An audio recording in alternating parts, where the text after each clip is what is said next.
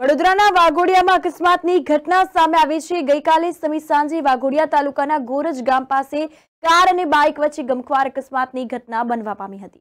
અકસ્માતની ઘટનામાં એક યુવકનું કમકમાટી ભર્યું મોત નીપજ્યું હતું. અકસ્માતમાં બાઇક સવાર બે યુવાન મિત્રોને ગંભીર ઇજાઓ થવા પામી હતી.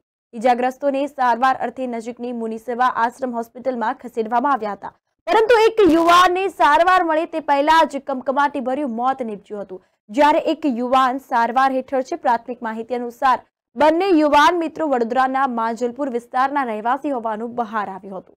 ગઈકાલે શુક્રવારે બપોર બાદ બાઇક લઈને બંને યુવાનો વડોદરાના માંજલપુરથી ગોરજ ગામે રહેતા સગા સંબંધીને મળવા ગયા હતા અને સગા સંબંધીને મળીને પરત જતા રસ્તામાં અકસ્માતની આ ઘટના સર્જાઈ. અકસ્માતમાં મોતને ભેટનાર યુવકનું નામ રાજકુમાર રાઠોડ હોવાનું સામે આવ્યું છે.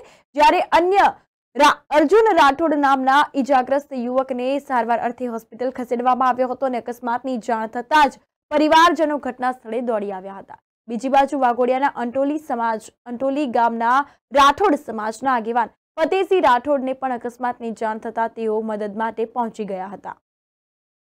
ગોરજથી રિટર્ન જતા જે એક્સિડન્ટનો બનાવ બન્યો છે, એના પિતા છે કમલેશભાઈ, રાવજીભાઈ રાઠોડ, એમના પુત્ર રાજ.